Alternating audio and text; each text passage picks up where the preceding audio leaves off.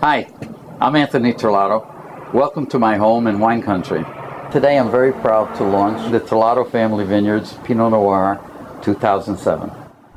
The plan was to make a Pinot Noir thinking about a Burgundy style. And to me, Russian River is the quintessential appellation. So the idea was to choose the varietal from the area that it's really became famous.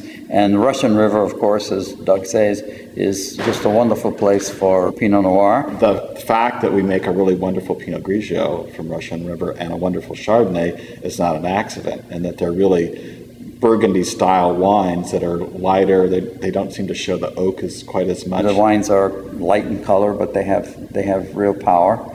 Uh, this one is the one that we wanted to have as the first I think this is a, a really great inaugural example of it. It's it's got color that's like a burgundy. Mm-hmm. It has this raspberry flavor. It's lighter in style and color, yet it's got this indescribable deliciousness. Well, let's get a bottle open. I'm getting thirsty. oh, I love the color. Notice how that wonderful raspberry. Very come, yeah.